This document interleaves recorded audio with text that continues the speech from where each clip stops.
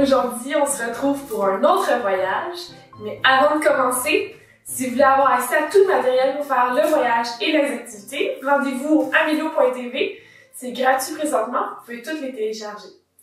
Donc, avant de commencer, on parle des consignes. Deux consignes super simples. Premièrement, un endroit sécuritaire.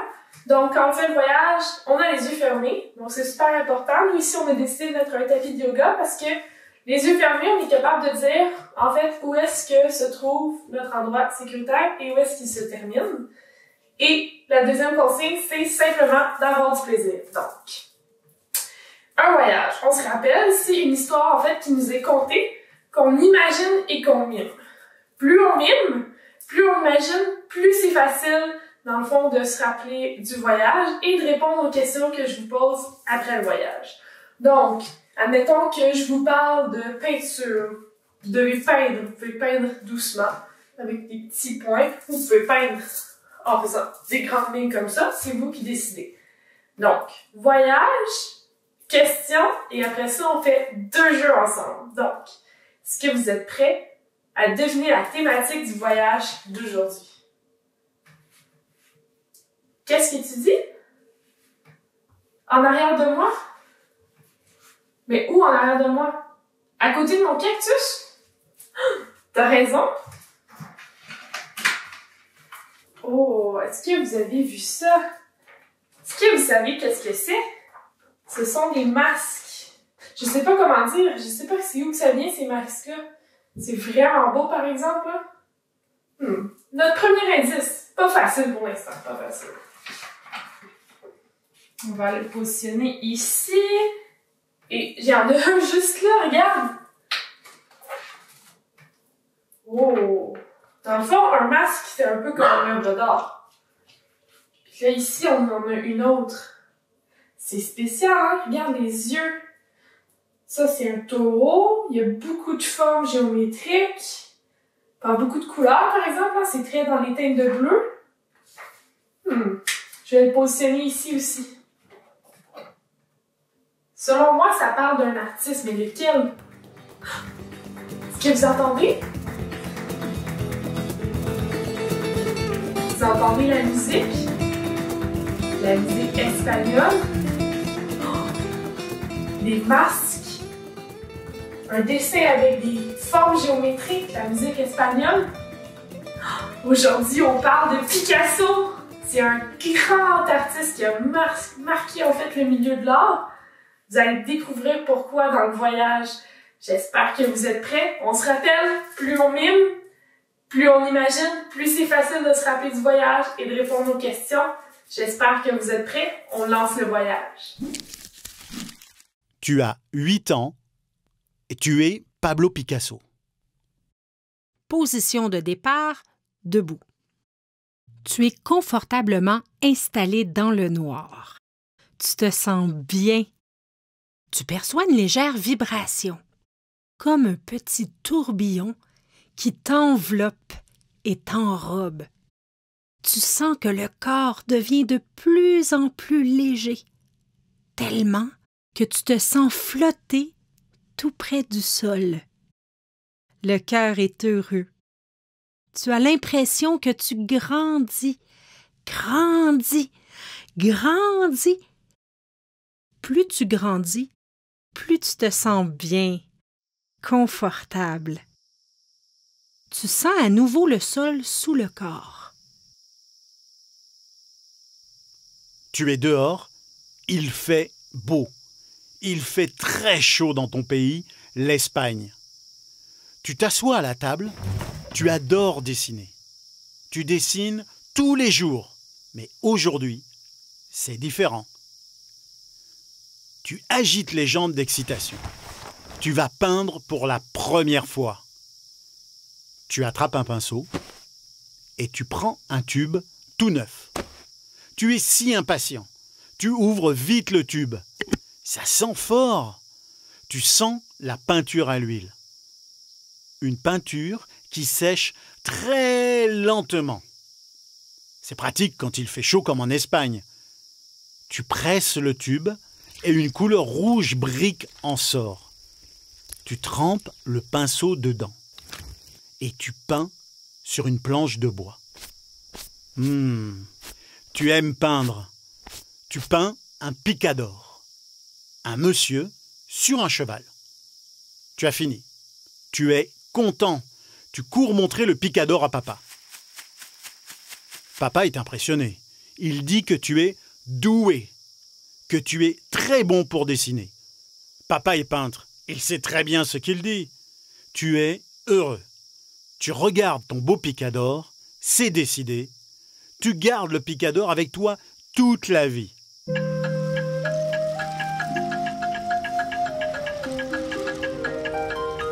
Tu as maintenant 10 ans.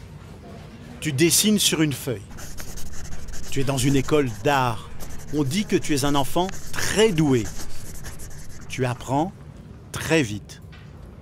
Tu traces une ligne au fusain, une sorte de crayon noir. Tu aimes faire de nouvelles choses. Tu mets le doigt sur la ligne noire du fusain et tu la frottes doucement. Waouh C'est doux comme de la craie. Tu aimes tellement les arts.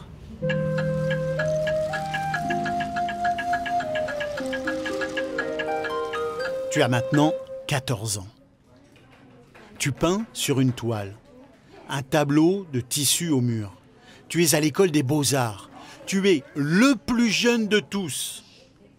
Normalement, il faut avoir 20 ans. Tu dessines le contour d'un taureau. Le mâle de la vache. Tu adores les taureaux. Il y en a beaucoup en Espagne.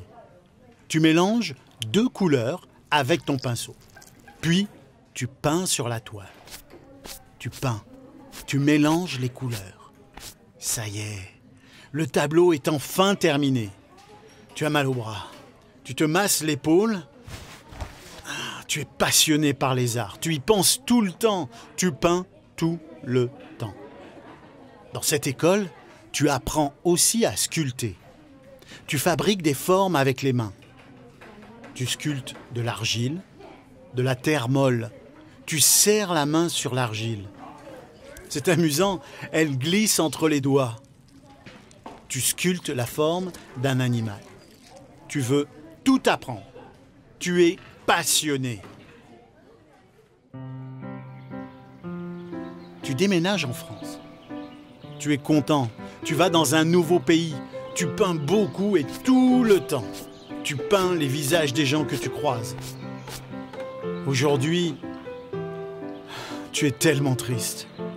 Ton ami est mort. Tu as mal à l'intérieur de toi.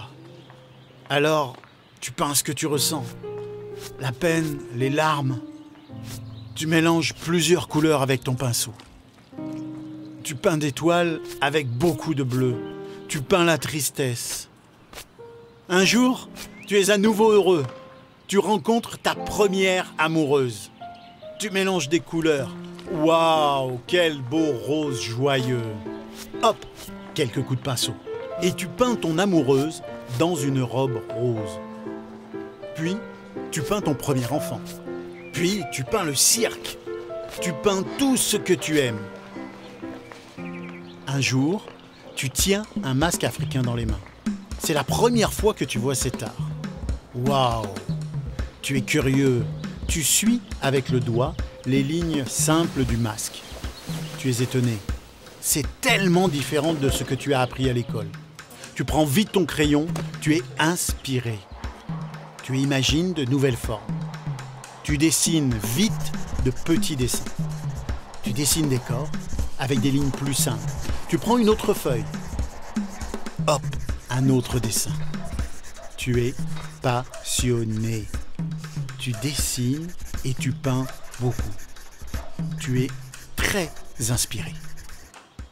Le temps passe.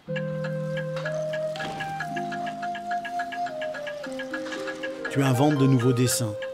C'est le cubisme. Des dessins aux formes géométriques.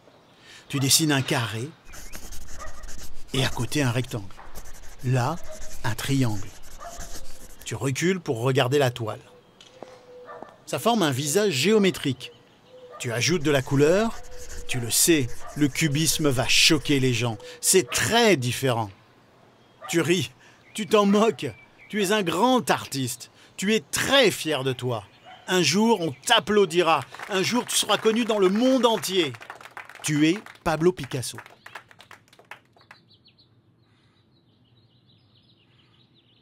Le petit tourbillon t'enveloppe à nouveau. Tu te sens flotter. Tu te sens bien. Peu à peu, tu reprends conscience de la réalité, du sol sous les pieds.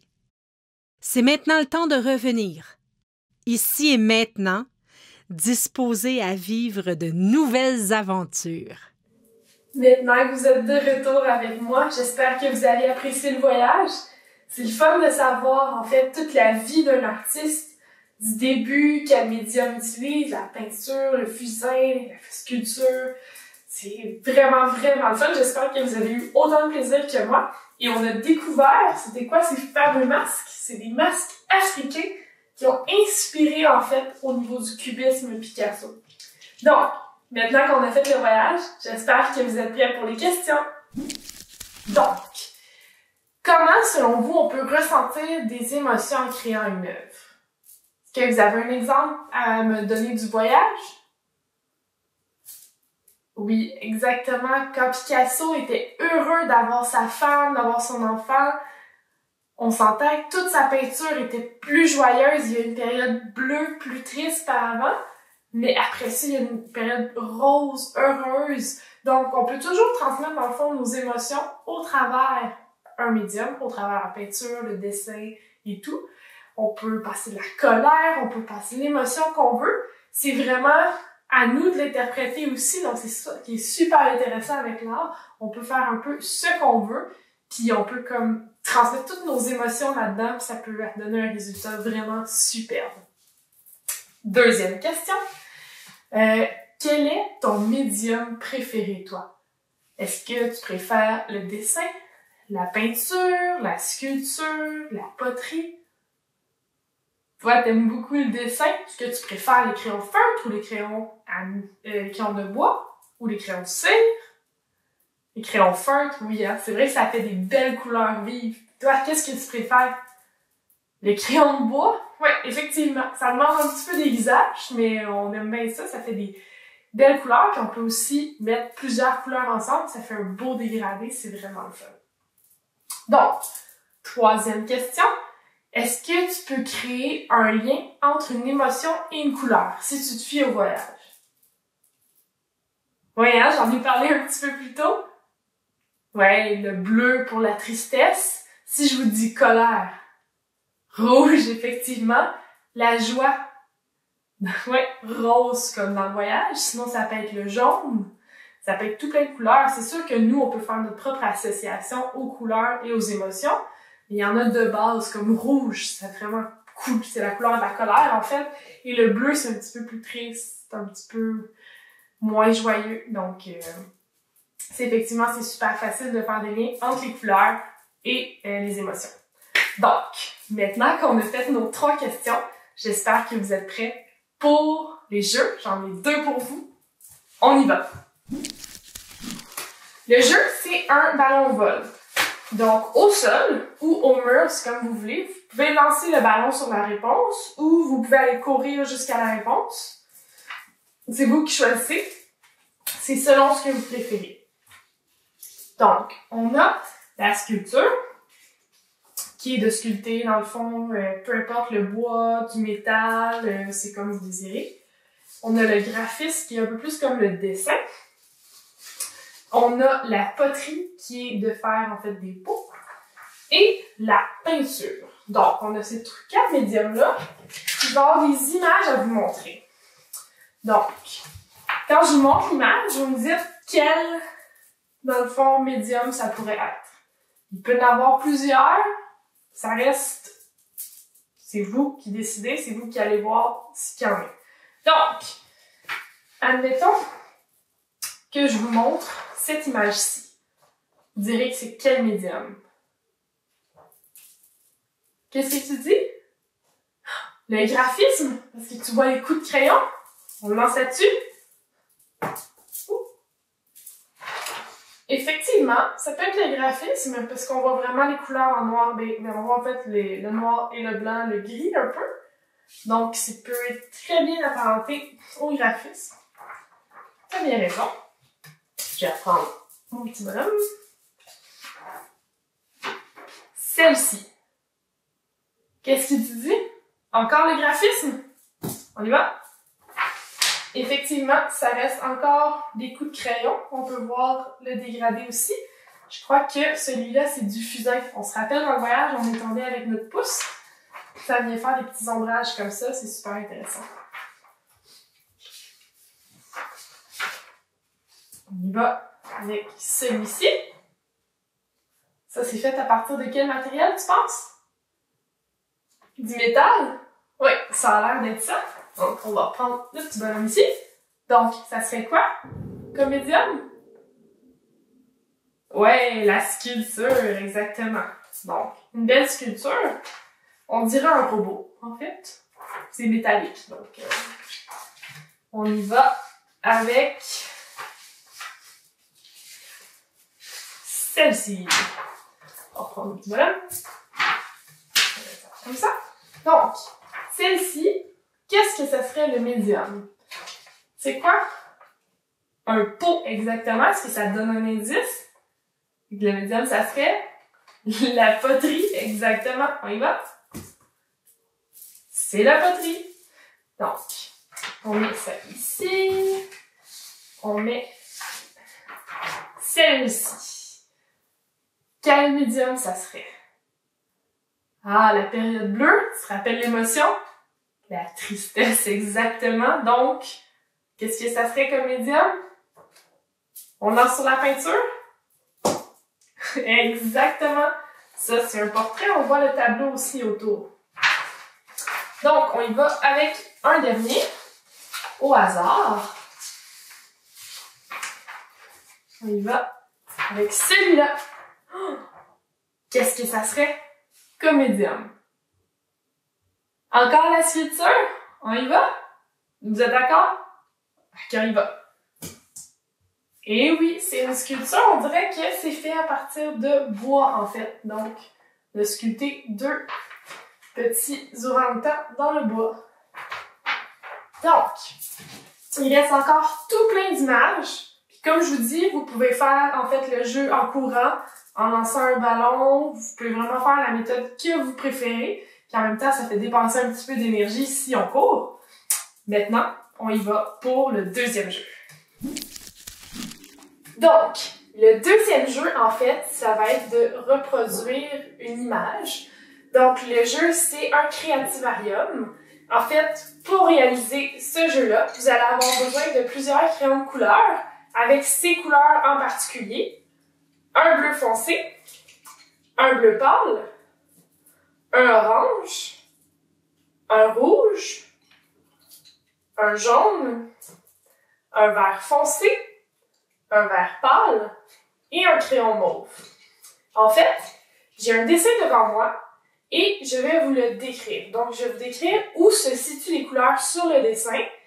Après chaque directive, vous pouvez faire pause pour prendre le temps de colorier votre dessin.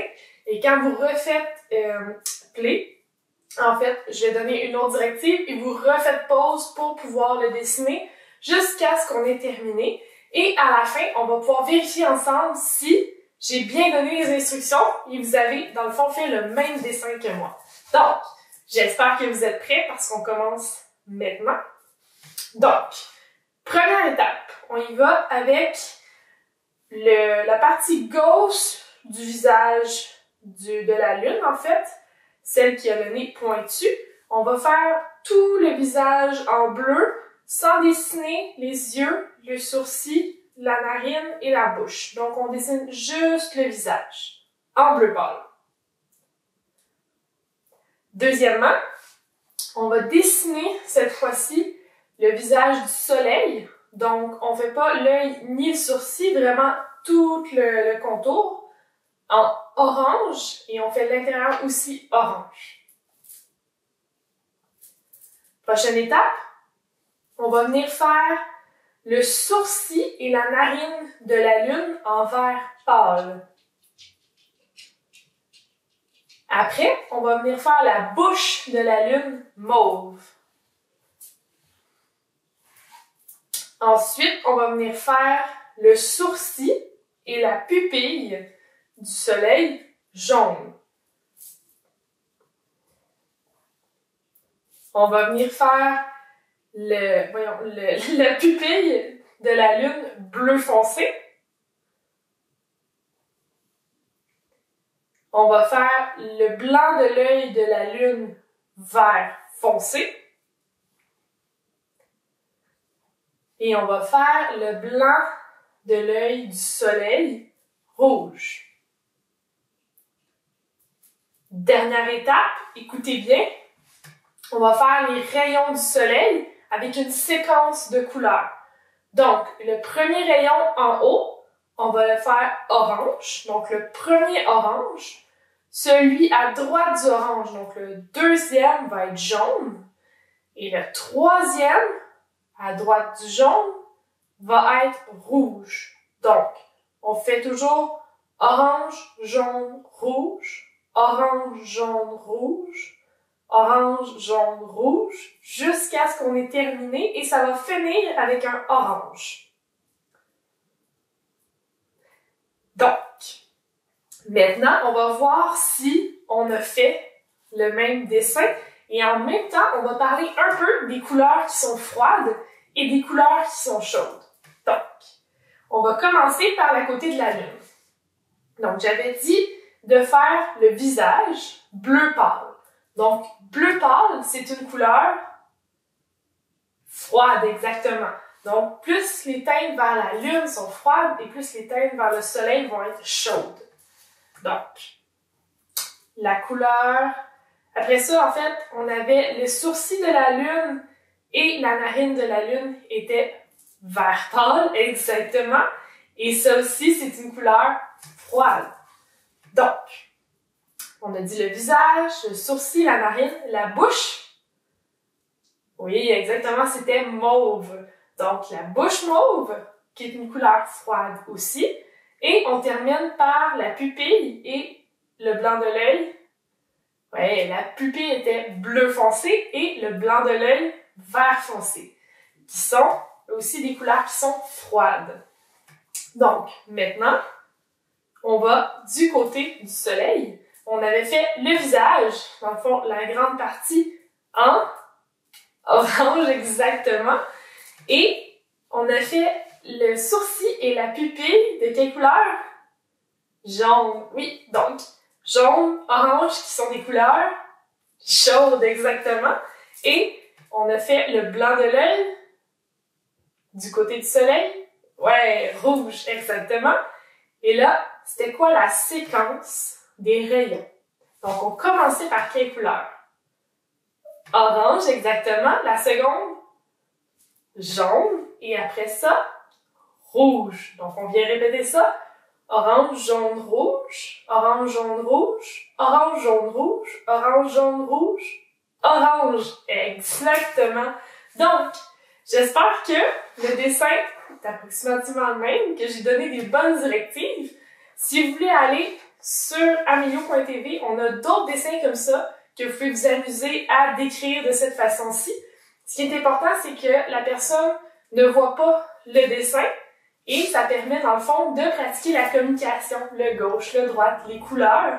Donc, c'est un exercice super intéressant, vraiment agréable à faire. J'espère que vous avez un petit plaisir aujourd'hui. Donc, on se revoit pour un prochain voyage. Bye!